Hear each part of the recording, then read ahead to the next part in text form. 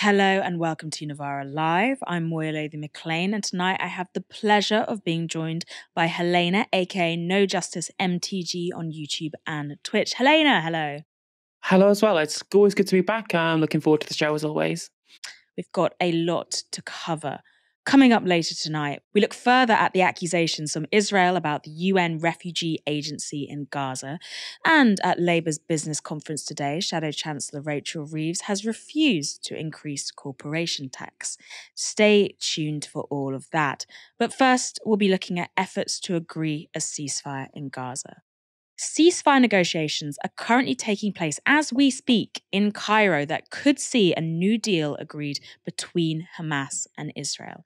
According to sources close to the talks, the deal would involve three phases.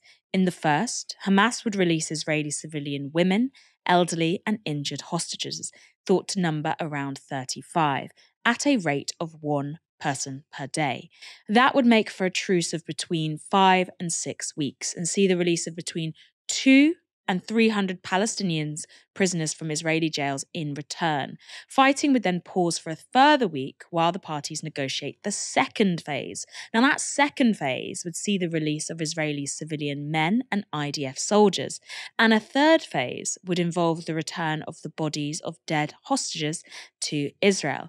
However, Hamas has also said it will only consider a deal if a permanent ceasefire is agreed. Israel, on the other hand, has said that it has its own red lines. Those include not stopping the war, not withdrawing forces from Gaza, and not releasing thousands of Palestinian prisoners. On Wednesday night, Israeli Prime Minister Benjamin Netanyahu said a deal would not be agreed at, quote, any cost. But it's reported that officials involved in the negotiation have called his comments unhelpful and that Netanyahu may be trying to, quote, make the deal fail. Haaretz also cited an Israeli official who said this. The aim of the extremism in Netanyahu's statements in recent days is to encourage Hamas to harden its positions and torpedo the deal. Such a move could allow Israel to continue fighting while holding Hamas responsible for the failure of the talks. Now, to help us pick through the political intricacies of these negotiations, I spoke earlier to Daniel Levy, a former Israeli peace negotiator who is now president of the US Middle East Project. I began by asking him how close he thought we were to seeing a permanent ceasefire. The effort at the moment, and in fact, that's right where the fault line is in these talks around a possible hostage release, prisoner exchange. And the question there is Will the permanent ceasefire be locked in? Netanyahu is refusing uh, very openly, vocally, for that to be the case. So he wants to get at least some of the Israelis out, be able to continue the war, not withdraw the forces from the areas that they have occupied and held inside Gaza. Also, not release uh, significant Palestinian prisoners being held in Israeli jails. That won't all happen.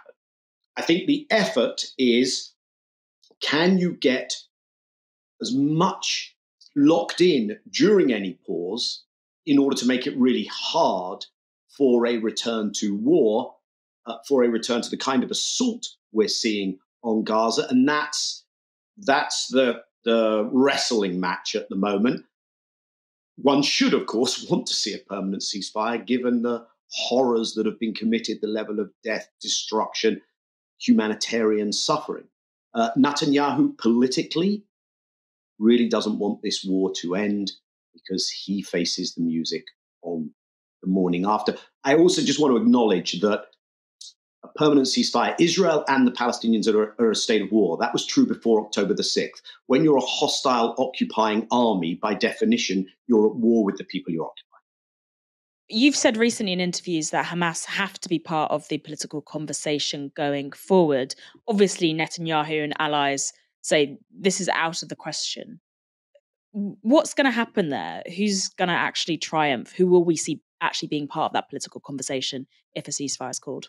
I draw a distinction. I think if we're talking about a return to the meaningless peace processing of the last decades, which is really just about locking in what I think has accurately legally been described as an apartheid reality. You don't need Hamas for that. If we're talking about actually getting to a place where political solutions can be seriously grappled with, engaged with, brought forward, where there's a horizon that both Palestinians and Israelis will get beyond the conflict and know security, and Palestinians will have their, their rights and their freedoms, then you are going to need Hamas, you're going to need a, a variety of Palestinian actors. That's the nature of the thing when you have a broad national liberation movement, and there are issues inside the Palestinian political ferment, which we may or may not get into. When you have that ranged against uh, an occupying state, you, you can't do it without Hamas. Hamas is not weaker now as, a, as an idea, as a political force. Hamas is stronger now. That's not what happens in history, and we should learn from that. How feasible is it that we are going to get that attempt at robust, meaningful peace that you talk about instead of this meaningless peace process? We're not seeing signs of that so far. All the signs, uh, the latest statements coming out of uh, the US administration, the statements coming out of the government here in the UK, an improved position, I'll acknowledge that under, under Cameron, but still what we're seeing in that international mix in what they're trying to bring the regional states into. What we're seeing is a little battle over semantics. Can we call this Palestinian statehood, even though it's really a Bantustan?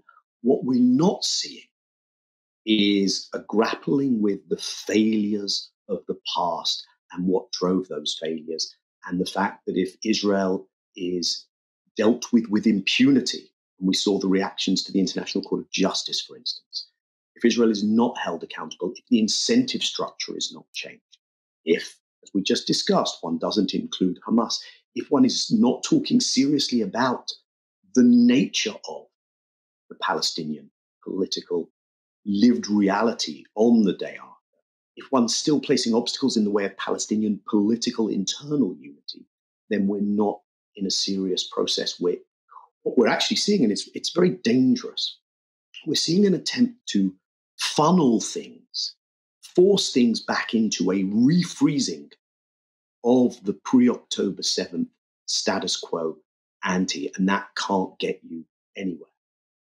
What would it take for that grappling to happen, though? What pieces would have to be moved? Because the answer to that question is a lot. Okay, this is why I really hope that a very cruel choice is not placed by the international community, by Israel and its allies, in front of the Palestinians. And that cruel choice would be we can end the killing in Gaza, possibly. We can marginalize the Israeli voices calling for eradication, expulsion, ethnic cleansing, a second Nakba. What we're offering you as an alternative is more apartheid, an entrenchment of a system of separate and unequal, which is what is in place. The kind of partition on offer, even if it would be called a state, and Israel is not ready for that, let's be clear. It would be something that does not give Palestinians their rights, their equality. It has no territorial viability. The position now is again being pushed for demilitarization after everything that's just happened now. Israelis might say the reverse, but to Palestinians, couldn't that be part? Would have no economic viability. It would be this discontiguous blobs of, of Bantustan. That's a cruel choice, but it's also a choice that cannot bring security and stability because it is still premised on an ongoing system of structural violence, which isn't going to deliver for Israelis either, of course not for Palestinians. So, what would it take? I think the key building blocks, Moya, are first of all the Palestinian political body needs to be given space to breathe. We, we, we mustn't try and impose a kind of technocratic, divorced from politics, divorced from agency and strategy, which is the, the external effort. So, first of all, let, and this is for the Palestinians to lead themselves, let's be very clear, but don't place obstacles in that. Secondly, Israelis have to be faced with much clearer choices. Israelis should not be sent the message you can do whatever you like to the Palestinians and we'll have your back, but we'd rather you gave them a little bit more of something. impunity is the handmaiden of extremism, I've argued. This has given Israel all the wrong lessons. The next thing is, I think we have to break the monopoly of those who are so deeply in Israel's corner that they're ineffective as, as mediators, as, as, as, as the conveners. So you have to break that American monopoly. I think we've seen the move taken by South Africa. We're seeing a different position in the global south. So that's going to have to be part of the equation. And these are the building blocks. If we can get them in place, things might look different. This is a question that I've wanted to ask for quite a long time because I've seen you speak a lot. Very impressive, obviously. You used to be a peace negotiator for Israel, working within that two state solution framework. From listening to you, it sounds like your position might have shifted. Where do you stand on the two state solution now? First of all, compliments on your British capacity for understatement, Moya. Um, so I went through a process which I came out of thinking this is really hard to compute. The PLO, the Palestinian Liberation Organization, went into, now at a time of weakness, okay, but it went into a process where it accepted not the partition plan, which already, I think, you know, from, from a reasonable anti colonial, let's say, perspective, why would the Palestinians be the fall guys for European anti Semitism and the horrors visited upon Jewish communities in Europe, reaching that height with the Holocaust? But they accepted not only partition, but also the reality created on the ground by Israel of an Israeli state in 78% of the territory. And they said, okay, we'll have a mini disconnected Palestinian state on 22% of the land, West Bank, Gaza. This isn't going to deliver on the rights of the refugees. We get that as well. It won't deliver on the structural discrimination under which Palestinians live inside. This seemed like something that the Israelis should grab with both arms and go, oh my God, we're going to get recognition. We're going to you know, get the Palestinians to accept so much of what Israel has pushed for. And instead, what I witnessed firsthand was this relentless attempt to drive an even harder bargain, to take that position and then nickel and dime it and, and insist on more things and more things, to basically empty this notion of, of Palestinian self determination being realized in this state of meaning. Now, maybe that wasn't the inevitable way to go. Maybe if Israel's feet had been held more to the fire during that process, maybe if the prime minister at the time, Rabin, hadn't been assassinated and he'd continued to evolve, maybe that wouldn't have been the case. However, that is what happened in, into the political vacuum stepped violence as there was no progress. Uh, the 90s, the early noughties are punctuated by Palestinian suicide bombings and violence against Israelis, by Israeli state and military violence against the Palestinians. First suicide bombings come after the killing of an armed settler of Palestinians in, in the town of Hebron. And so, if one kind of steps back and looks at that, it strikes me that the partition that Israel had in mind was a tool for maintaining domination over the Palestinians. It was part of the toolbox of control and violence. That's certainly where we are today. And Prime Minister Netanyahu, who has been in power most of the years of the dismantling of the two state option, has now effectively eviscerated that possibility. If anyone is serious about going back to two states, you don't do that by saying, you know what, we'll announce recognition of a Palestinian state. That doesn't address what are the borders, what are the sanctions if Israel continues to occupy the area you're recognizing. That's a meaningless, to my mind, rhetorical gesture, even if the PLO, Palestinian Authority, in its current incarnation, may say, hey, that's great, another symbolic win. It doesn't help. If you wanted to do it, you could do it. Israel has to withdraw. You you make the Palestinian state real and sovereign and viable, and then you continue to discuss issues around refugees, truth and reconciliation. That was never part of our negotiating lingua franca, by the way, ideas of truth and reconciliation and transitional justice. But the reality on the ground is a one state reality. And while that reality prevails, and probably a more counterintuitive as it sounds, realistic path forward is to say what are the conditions for ending apartheid and achieving equality in that space. And that means also creating a landing place, not for the regime as it exists today, but for the Israeli Jewish population who are going to stay there just as the Palestinians are going to stay. Something I think about a lot is, you know, the ICJ ruling. How significant is that both to the Israeli top team, the politicians, but also to the public? Do they know? Do they care? What is their perception of this? These things are osmosized. These things penetrate people's psyche over time. Okay? Uh, that there is a very concerted effort. I mean, this is a whole nother story, Moya, but in the Israeli media to try and uh, shield Israelis, not only from the horrific images in Gaza, there's a lot of censorship, there's a lot of self censorship, but also to how things are playing out internationally. But I think this is not simple. Okay. Um, first of all, there's there's the case itself. Israel is supposed to report back in 30 days. I actually think what South Africa did at the court has already had more impact, certainly on how Israelis are talking about this. And I think they suddenly realized, oh my God, you can't say that there are no civilians. That's so so it doesn't mean that's stopped entirely. I think some of what Israel's saying about the morning after, they've had to, to check themselves. Even on the humanitarian access front, I would say what, what is done there in the court is more significant than endless whinging and whining and bleating from the Americans and the Brits and others. But, and again, here's where I have to step back because international law, the Court of Justice, does not have powers of enforcement. It does not self enforce. As we're talking right now, consideration is being given at the UN Security Council how to take this forward.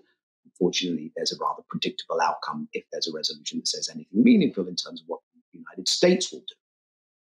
But the significance of this is that it has put the missing A word on the table, and that's accountability.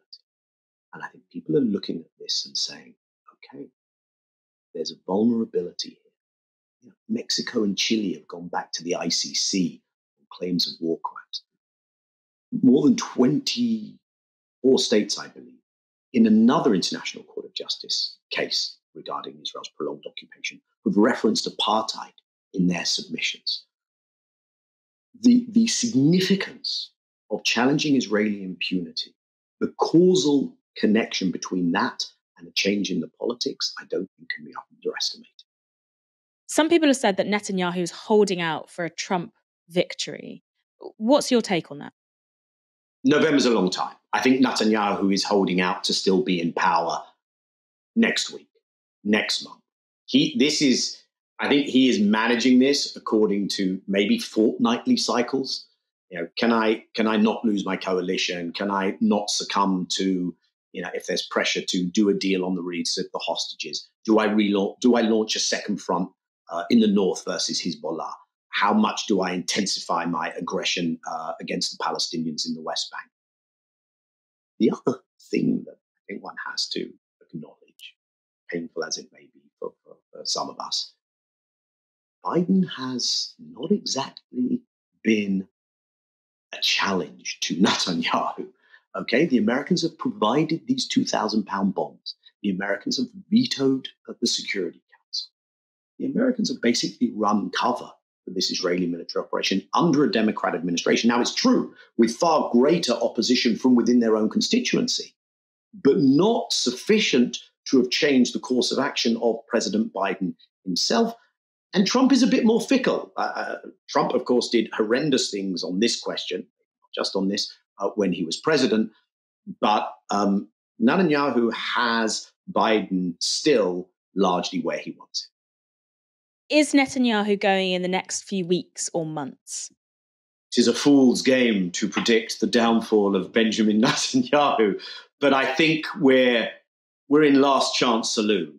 It feels like it his popularity. And this is interesting and remarkable because the, the support for the war is very high. There's a lot of cognitive dissonance. So people want the, the hostages out, but they want the war to, but people do not want Netanyahu. His popularity is low. I think Bibiism, the kind of ideology around it, is, has taken far less of a hit. So I think Netanyahu knows when war ends, he's in trouble. That doesn't mean that it's so easy to bring down his coalition. But the, the overwhelming likelihood is that he will not win further election when that happens. And he is, of course, a man in court facing charges at the same time. Finally, let's just quickly look at the British reaction to this. Obviously, David Cameron started talking about a Palestinian state. What does that indicate? Do you think Starmer might also follow that path? Let's step back a moment. The record of the current government, even through its various incarnations of leadership since the British public were last allowed to vote on who their leader should be, um, has really been bad on this question. Now, there have been degrees of bad, which, as on many other things, reached a, a remarkable high point slash low point under Liz Truss when there was talk of moving the embassy to Jerusalem, a la Donald Trump. But the government itself has tried to insulate as much as possible the British Israeli bilateral relationship from Israel's violations of international law uh, against the Palestinians. Of course, that's at the same time that the UK and other Western governments have been telling us that we are the upholders of international law and the values and the rules based order and all this uh, as they stood on their um, moral preachy soapbox over Russia Ukraine. So the government has done a spectacularly bad job and normalized how one works with an Israeli government with the likes of Ben Gvir and Smotrich in it. I think the extent of the hit the West and the UK are taking and the extent of the horrors, and probably where the British public are at, has meant that there has been something of a course correction. But let's look at how the UK government responded to the International Court of Justice. They said South Africa was wrong to go there. They said we respect the court, but they're not going to respect the ruling. They've defunded UNRWA when UNRWA, the, the service organization, Palestinian refugees, a million people taking shelter in, in UNRWA shelters in Gaza right now. They've withdrawn funding over a, an as yet not sufficiently proven Israeli allegation, which UNRWA has immediately acted. In that respect, I would say that, I mean, I've seen David Lammy's statements from, from the last days, and, and David Lammy's statements on the International Court of Justice on UNRWA have actually been important counterpoints to the government's position. What we have not yet seen is something neither from the government nor from the opposition, which really speaks to a change of approach. And I think which, which really speaks to where the British public is at. And I certainly think on the Labour side, we're not seeing enough of uh, a match between where the Labour voting public is at, where that constituency is at, and the positions being taken by the leadership, albeit in opposition. The other thing one just has to throw into the mix, if I may, is the, the very uh, pernicious, ugly attempt to pass this boycott bill, this economic activities bill, uh, to criminalize councils and others uh, taking measures that would sanction what's really needed, indeed, which would sanction not just Israeli behavior, but also other causes, whether it's to do with the arms trade, to do with um, climate change, to do with fossil fuels. Um, that was a horrendous piece of legislation, and that was part of the politicization and attempted instrumentalization and weaponization of anti Semitism across communal relations. And it would be a huge. Now, Labour has voted against, its arguments haven't been where they should be, um, but it, it has voted against. But Labour must not find itself in a place where having rooted out anti Semitism and sometimes defined it wrongly in so doing, it is now opening up its ranks to racism against Palestinians, Arabs, anti Muslim racism. This is not the place you want. That was Daniel Levy speaking to me earlier this afternoon. And that interview happened before some breaking news that we have for you now. Uh, this is being reported from the Jerusalem Post. It's also been reported by the Times of Israel and Al Jazeera Palestine. Qatar's foreign ministry has announced that Hamas has given its initial approval to that proposed deal that we talked about that would see hostages freed and fighting in Gaza stop for a period of time. Now, Qatar's foreign ministry also says that Israel has provisionally agreed to this proposal, confirming reports that Jerusalem okayed the deal at negotiations in Paris earlier this week. This part of the statement is still um, not confirmed. Uh, Israel's war cabinet is meeting right now. In the Jerusalem Post report, they say that Channel 13 News quotes a senior Israeli official who denies anything's been approved by Jerusalem. Meanwhile, Channel 12 in Israel says that Israel has yet to receive any formal response from Qatar to the proposed deal. Uh, but a ceasefire framework does seem to be further along in an agreement than it was at this morning. And Benjamin Netanyahu's worst nightmare could be about to pass. Uh, if that ceasefire is agreed, his position is extremely untenable. So we'll keep updating you if there's any more news on a potential ceasefire in Gaza. 15 governments, including the US and the UK, have halted funding to the United Nations Relief and Works Agency for Palestinian Refugees, or UNRWA for short. This is the largest humanitarian agency in Gaza with some 12,000 workers in the Strip. The organization runs schools, health centers, and refugee camps while also managing the distribution of aid. The decision to suspend funding will shut the agency down by the end of February, according to UN Chief Antonio Guterres. And it came on the back of Israel handing over a so called intelligence dossier claiming that 12 UNRWA workers were involved in the 7th of October attacks on Israel. It also claims that 10% of the 12,000 UNRWA workers in Gaza are, quote, Hamas or Palestinian Islamic Jihad operatives, while 50% have a first degree relation in Hamas. That means a brother, sister, parent, or child. Of course, that would legitimize in Israel's eyes the collective punishment of Palestinians in Gaza. And it comes as absolutely no surprise to anyone that Israel's dossier magically appeared on the same day that the International Court of Justice ordered it to act in order to prevent genocide in Gaza. Now, Sky News has taken a closer look at Israel's claims. This is its assessment. The Israeli intelligence documents make several claims that Sky News has not seen proof of, and many of the claims, even if true, do not directly implicate UNRWA. It's good to see a media organisation take on these claims, a job you'd think actual governments would be doing. But Sky seems to be alone in publishing a negative assessment of Israel's claims. Other media outlets appear happy to serve as free Israeli government PR machines, like America's Wall Street Journal, who ran a story with this headline. Intelligence lays out details of UN agencies' staff's links to October 7th attack. Around 10% of Palestinian aid agencies' 12,000 staff in Gaza have links to militants, according to the intelligence dossier. That's right. The Wall Street Journal simply asserted the truth of the dossier in the headline of its news report, and the article raised no concerns about the quality of the intelligence or where it might have come from. But since then, one of the two WSJ journalists who wrote that article has come in for closer scrutiny. It's been revealed that Carrie Keller Lynn is a former IDF soldier, pictured here on the right. On the left is Alicia Landes, a former IDF spokesperson. In a now deleted 2020 interview with iTrek, an organization that introduces American graduates to Israel, Keller Lynn said this about the IDF and her relationship with Alicia. I went to serve in the military in 2009 and I was living on a kibbutz. It was a big change and it was a bit lonely. Alicia helped turn that around. I lived at her house on weekends, and her family adopted me, which is the most Israeli thing possible. We were two American East Coasters who ended up in Israel, and Alicia taught me what it is to be Israeli by bringing me into her life. Interesting. Helena, the claim that UN workers were involved in October 7th is huge, it's massive.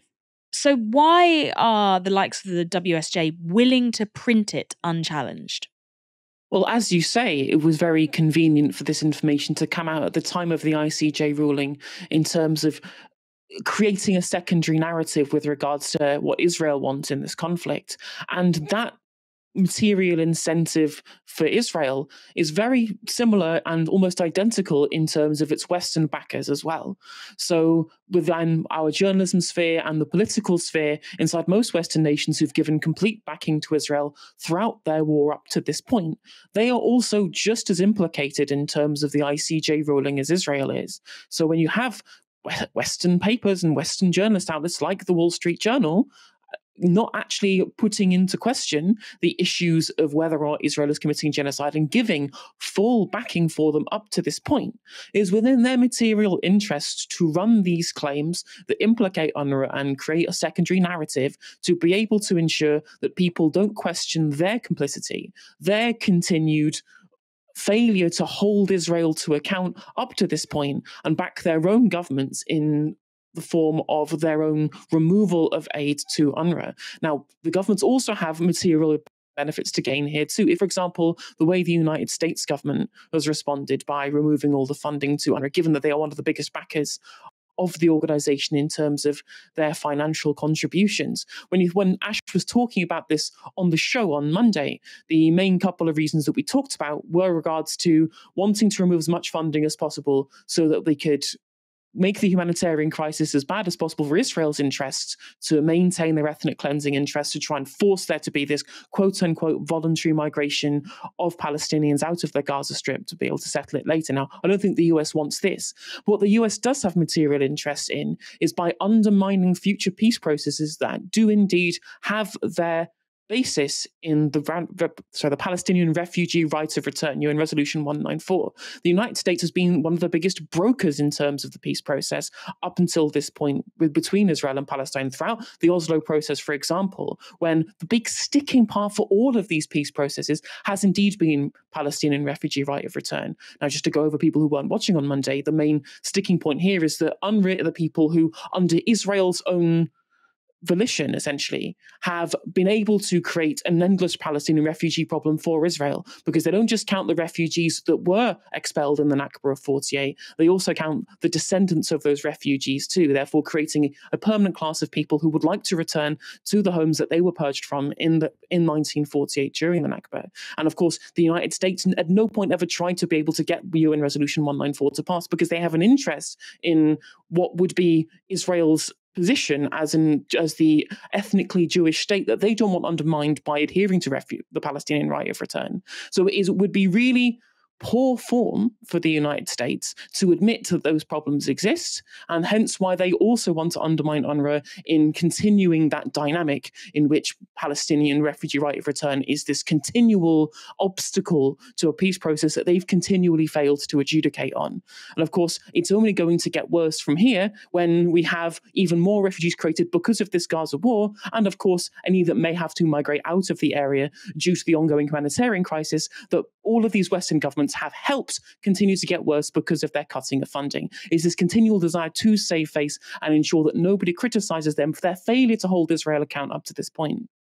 I think that's you know bang on the money um and i wonder if you think that the sort of noises we've been hearing out of the us and the uk today you know cameron talking about this palestinian state that he now supports um but blinken also saying well we're reviewing plans of how a palestinian state could be created. And now, this news that's being briefed that Joe Biden might enforce sanctions against Israeli settlers in the West Bank is that further part of uh, you know saving face operations by the US and the UK so they can carry on administering their rules based order eh, despite having completely disregarded it for the last you know four months Oh, 100%. I, I absolutely agree with all of the points that you've raised there. It does seem to me, I mean, you, you look at the way in which British politicians have shown essentially scant regards to the international rules based order, which seems to be the only part of the world that previously was supposed to be having been constrained by that within the global south, are the ones trying to uphold it now. And as that,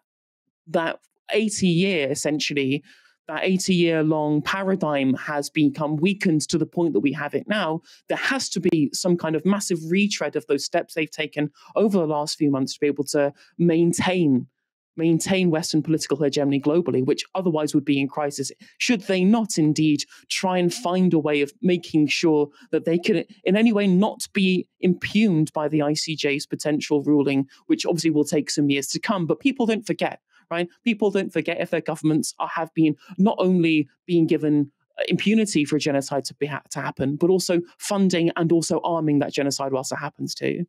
People also don't forget the appearance of dodgy dossiers uh, amid very, very questionable conflicts. Uh, those of us with memories long enough might also remember one from 2001. Let's move on to our next part of the story. Over 27,000 Palestinians have now been killed in Gaza. Each one of those was someone's partner, parent, friend, relative. Some 11,000 of those killed have been children, each someone's child. One of those children was 15 year old Layan Hamada. She was sheltering from IDF fire in a car with her six year old relative Hind when she made a call to the Palestinian Red Crescent for help. This is that call. Hello? الو مرحبا عمو مش حد تدخل علينا الو مرحبا ايوه تدخل علينا الدبابة جنبي انتم متخبيين اه في السيارة احنا جنبينا الدبابة انتم جوا السيارة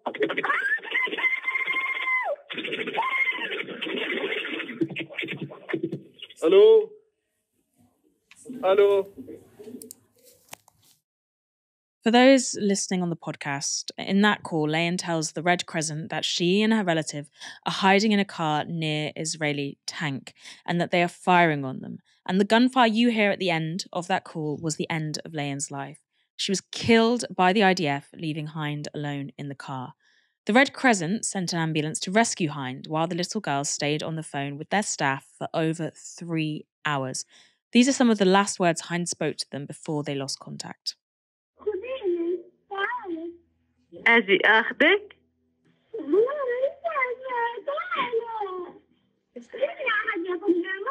حبيبتي ما طيب ما أنا حب ما أنا يا حبيبتي رح أجي اخذك هلأ عمو من الهلال عماله عم بنصك عشان إحنا نقدر نيجي ناخذك حواليكي في ضرب رصاص.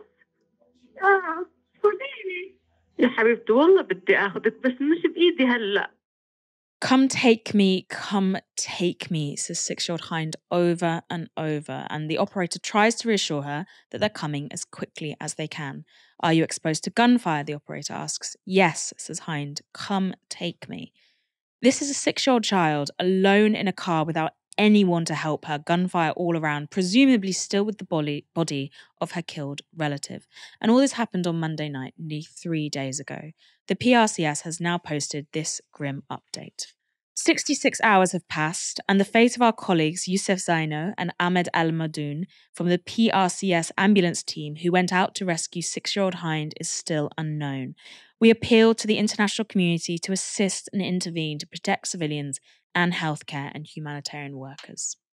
An awful situation, and the missing in Gaza continue to mount up. The UK Labour Party's top team has spent today at their big business summit. Labour leader Keir Starmer and Shadow Chancellor Rachel Reeves have been hosting 400 executives at a conference designed to cement them as the party of business. With tickets at £1,000 a head, at the very least, the Labour coffers are £400,000 better off. But funds aren't the only thing being raised. Eyebrows are also being elevated at some of the new pledges being made to business leaders. Rachel Reeves gave her keynote address to the gathered bigwigs today, and she made one particular promise regarding corporation tax. The next Labour government will make the pro business choice and the pro growth choice. We will cap the headline rate of corporation tax at its current rate of 25% for the duration of the next Parliament. And should our competitiveness come under threat, if necessary, we will act. That means that business can plan today investment projects with the confidence of knowing that their returns will be taxed at a certain rate for the rest of this decade. Yes, that's Rachel Reeves promising that a Labour government will hold corporation tax at 25% for the duration of the next Parliament. Why is it? When Labour speaks about funding public services, there's always a caution and the excuse that we can't make promises. We don't know what the financial situation is yet. But when it comes to promising private business things, the pledges are made with the quickness And an example of this came just minutes later. GB News political editor Christopher Hope asked Reeves if she would raise income tax thresholds. This was her answer.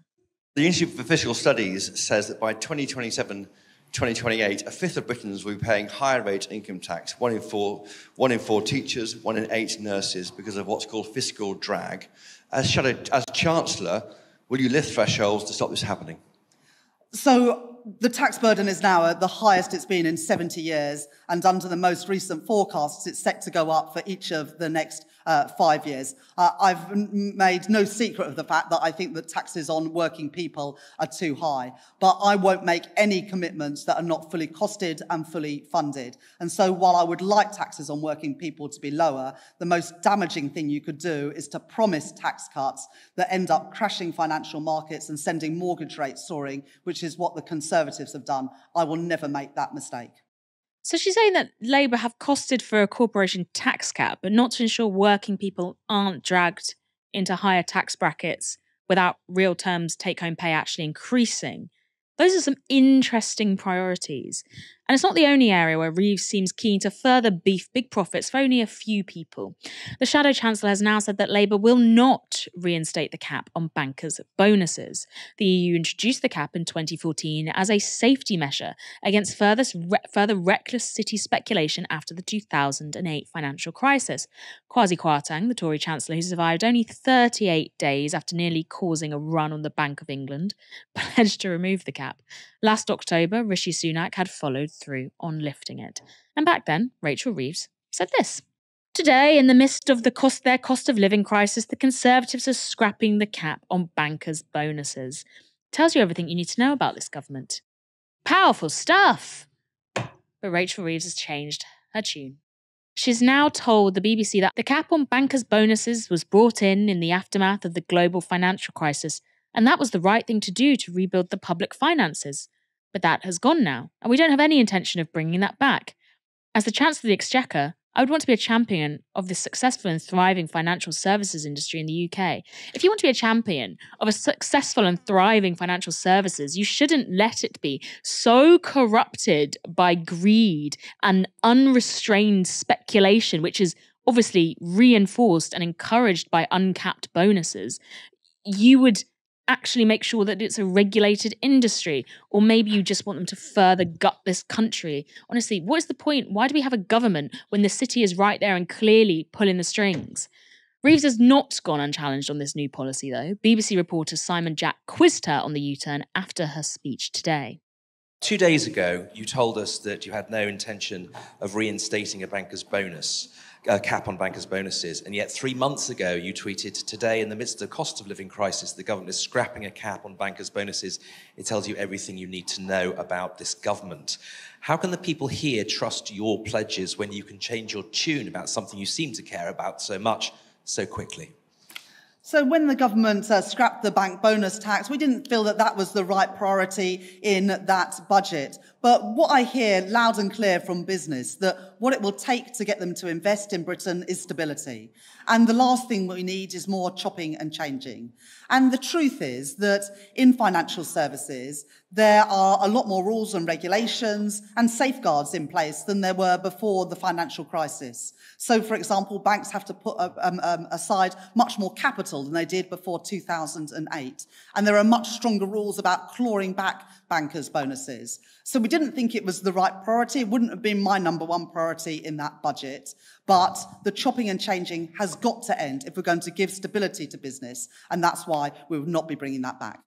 Do we not need to rebuild the public finances? I don't get it. Why has the situation changed? And how is economic stability achieved via letting a tiny amount of people profit hugely from speculation and wheeler dealing? Because that is what's happening. That's what it is. Is that really the con- the calculation that is driving Rachel Reeves's policy shift? Does she really have a dramatically different understanding of macroeconomics than she did last October? Or you know, maybe she's just speaking to a different set of people. Economist Richard Murphy posted this list of those advising Reeves on her financial services policy. That's eight senior executives from commercial investment banks, one Bank of England official, and one senior regulator. Even Sky's Kay Burley thought Reeves's business pledges smelled a bit funny. This was Burley speaking to Shadow Business Secretary Jonathan Reynolds earlier today. To clarify, Labour's happy to cap child benefit but not bankers' bonuses? Well, I would not make that comparison. I just did. The, the, the point around this is this is not about limiting. The bankers' bonus policy was never about how much people are paid. It's the structure. So basically, what was previously bonus went into basic pay. So I just want to be clear this is not about people saying bankers should earn more. That's not our view. But you're capping child benefit but not bankers' bonuses. Bottom line. Look, there are lots of things in the social security system I would like to see changed. The health of the economy at the minute isn't one that you can make these kind of pledges on because, frankly, the, the, the, strain that system is under is too great. What you have to do is what we're doing today, which is how can you grow the British economy? How can you drive up business investment, stronger growth, stronger productivity? How can you make the net zero transition work for working people? All of this requires a strong relationship with the business community. Okay, but bankers' bonuses, they're not driving productivity. They're driving that little tiny small insular industry in the city it's not like they're the ones who are funding industry. If they were funding industry, surely then they'd be making more noise about saving the likes of Tata Steel or or not going back on the 28 billion they promised for green investment. It doesn't make any sense. Helena, Reeves is trying to woo business, but a Labour cutting off their nose to spite funding the actual policies that the country desperately needs. I mean, it is really jarring to hear Jonathan Reynolds essentially go, Well, we love bringing in business to be able to consult on things we definitely will do for them. But when it comes to policies that are going to help, you know, feeding children, oh, well, unfortunately, the financial situation is just not good enough for me to make that pledge right now. It's a really interesting, different change in dynamic. I mean, speaking of changes, I've been reading through a lot of Labour campaign materials recently, and they are very clear in they continually use the phrase that Labour has changed. And boy, have they changed. Rachel Reeves going today with the line of being both pro business and pro worker.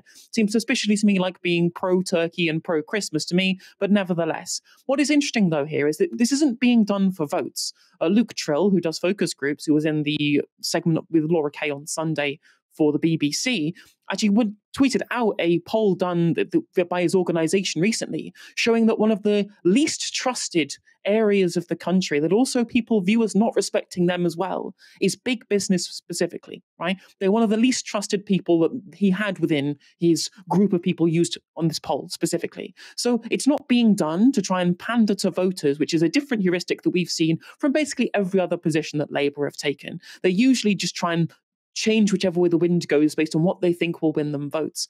But this isn't about votes because there's no votes to be won in going off to the World Economic Forum and swanning around with the Goldman Sachs bankers at Davos. That's not the way that you win over voters in a post 2008 world when these people are very much untrusted by the public. What this is, is an attempt to create links, create links with business and labor. Now, there is part of the business plan they have, which was really, which we covered in the Financial Times, I believe it was yesterday, in this creation of what they described as being a growth committee right? Which sounds suspiciously Trussian to me, which is going to involve business leaders and union leaders apparently as well. So at least some of the people who should have vested interests in Labour are going to be included in that. But it was interesting that all of these links to all these different people from financial services sector, all these people who are donating to the Labour Party from big business, are suddenly potentially going to be involved in Labour policy making. And we know already that they are all they have very close links to whether whether Labour are going to be including them in policy making. Tribune did an interesting article recently called uh, "Labour for Sale," which way they uncovered a bunch of links between consultancies, between lobbyists, between big business and the Labour Party. Like at the point which where we have people who are on Labour's NEC who are directors of lobbying firms. We had Alastair Campbell writing a foreword for Portland Consultancy, in which was informing businesses how they could be interacting with the Labour Party, including ways in which that they could help influence policy. Now I don't know about you, but a quote unquote Labour Party run for the trade union movement by the trade union movement shouldn't be allowing business owners who have direct material opposition opposition to the interests of workers in this country be the ones setting policy for them. That doesn't seem like much of a Labour Party to me, although Labour has changed, as they say. So this may well be a new, new Labour that we're looking for. That's very very much feels like the cash for access scandal of 1998 to me, but that is only speculation, nothing specific on that one. But what is interesting though is that it's not like they need to do this to get businesses, at least informed of what they're doing. During the Corbyn years, John McDonnell was very open that he had taken his plans to businesses and say, this is what we're doing. Not in a, would you like to influence what we're doing, but this is how you can plan, this is how you can know that things will be stable and that we have a plan without letting them influence how the policy is made. And Matt Zarb-Cousin was tweeting out today that in his time being an advisor, business were interested in knowing what the potential plan for a Corbyn government was. There, weren't, there wasn't this arms length, we don't want to listen to business at all, but letting them set policy was a Rubicon they weren't willing to cross. There's one last part I'd like to add to this specifically, which is that one something that's not been covered very much so in the wake of this business conference is one thing I saw in response to Rachel Reeves speaking with regards to what Jeremy Hunt was doing in his own deregulation of the financial services sector post Brexit. Now, there's two things. There's what they call the Edinburgh reforms, which is a sense of Brexit bonanza deregulation of the financial sector. What happened last time we deregulated the fin- financial sector? Answers on a postcard. But the second thing was Solvency II, which is something people might not know about in chat. This is a bunch of regulations from the European Union, which involves talking about the risk management of insurance firms within the European Union ecosystem. Now, now we're outside of the European Union. We're not in. We're not in implicated in Solvency II anymore. But what this does mean is that Jeremy Hunt has decided that he wants to reduce the risk margins on insurance firms, which is the amount of capital that they have to have liquid on hand to be able to deal with if they go bust. Reducing the requirements of those by up to 60% in some cases. And Rachel Reeves says she completely backs this.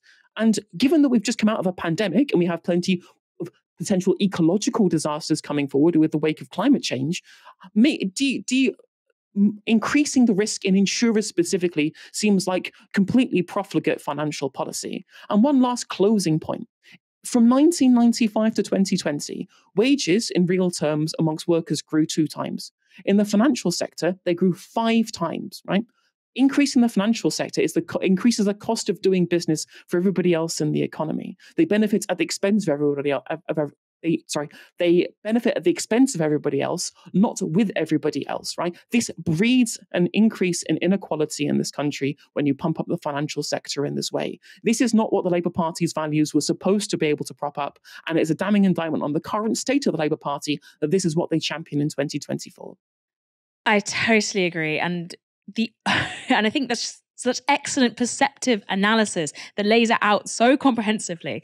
Um, and the only thing I have to say is it really does feel like I don't know if anyone's seen that long that meme has a very long shelf life now. This Arrested Development meme, uh, where two characters are talking, Helena, uh, not Helena, uh, Lindsay and Tobias, and Lindsay says, "But did it work for those people?" And Tobias says, "No, it never does. They delude themselves into thinking that it will." But it might just work for us. And that's the current Labour Party policy when it comes to deregulation. Thank you so much, Helena, for joining me tonight. As always, it is not just a pleasure, but an honour to have you on because your insights are just so good. Thank you very much. Much appreciated. I do appreciate the kind words. And again, it's always a pleasure for me to be here as well. Always good to be back and look forward to the next time. I'm very glad about how much we've expanded the Novara Media family in recent months. And that is due to the support of you guys at home. And thank you so much to all of you for tuning in, as always. Come back tomorrow for another packed show from 6 p.m. You've got Aaron, you've got Michael. You know it's going to be spicy. For now, you have been watching Novara Media. Good night.